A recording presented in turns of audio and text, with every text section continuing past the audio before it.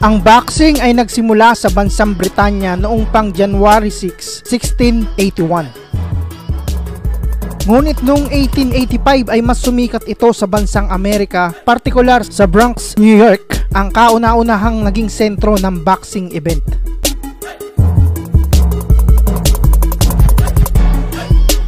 At noong 1910 naman nabuo ang kauna-unahang boxing organization na tinawag na National Boxing Association.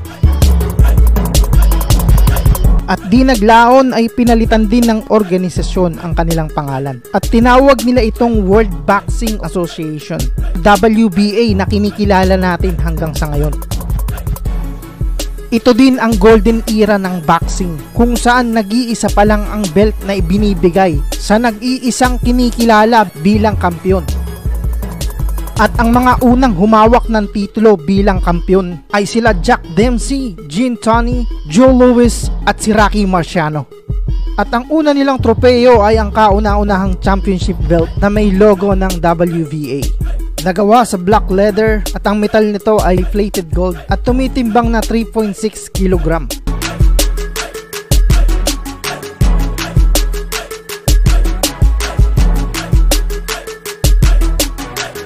At noon namang 1963 na kung saan mas dumami na ang magagaling na boxer ay nahati na sa dalawa ang organisasyon.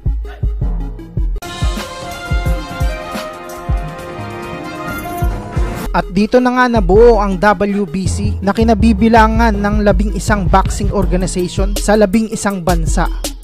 Kabilang na dyan ang Argentina, Brazil, UK, Venezuela, Mexico, Panama, Peru, USA, France, Chile at ng bansang Pilipinas. Si Jose Sulaiman naman na founder ang tumatayong presidente. Ama ng kasalukuyang WBC president ngayon na si Mauricio Sulaiman. Ang kanila namang headquarters ay nakabase din sa kanilang bansa sa Mexico. At ang WBC belt naman ay gawa sa green leather at ang plate nito ay may halong bakal at tanso. At nagkakahalaga naman ito ng $820.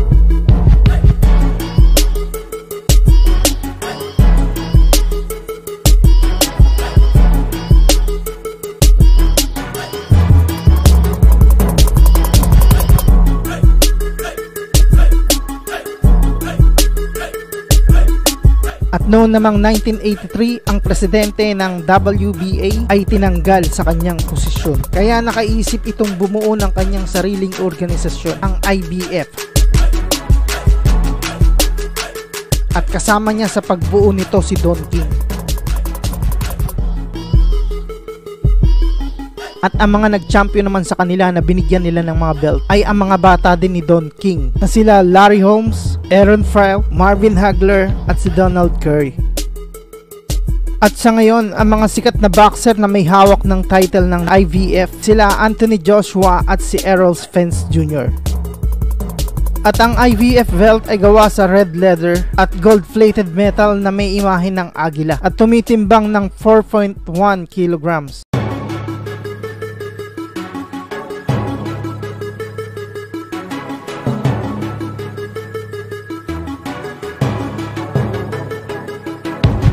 At dahil nga sa mga naging anomalya at mga naging dayaan sa mundo ng boxing, noong 1988 ay itinatag ang WBO o World Boxing Organization na isa sa nagbigay ng mga pagbabago at bumalanse sa pamamalakad sa mundo ng boxing.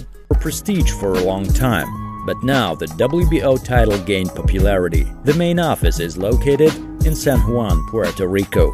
Ang WVO belt naman ay gawa sa brown leather at gold-plated metal. May timbang na 3.6 kg. Nagkakahalaga ng $660. There is a red circle with the inscription World Champion, inside of which is a boxing ring.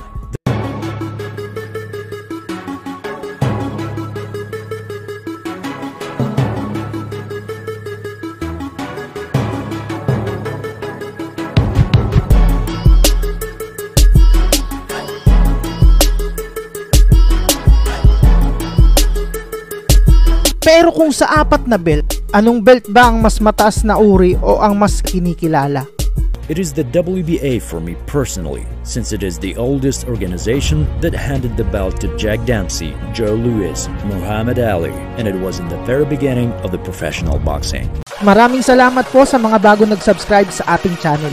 At shoutout din po pala sa isang malupit na boxing content creator na si Sports Talk PH. Salamat din sa pagkilala at pag-acknowledge sa ating channel. Shout out sa iyo, Idol DB Boxing. Shout out, shout out. Salamat sa panunood. Isa din yan malupit na content creator, DB Boxing. At shoutout din kila at Ben TV, Mark Gaming at pati na kila Aldrin Tolosa at kay BOBOTV. At sa mga gustong magpa-promote at magpa-shoutout, comment down lang po and again marami pong salamat.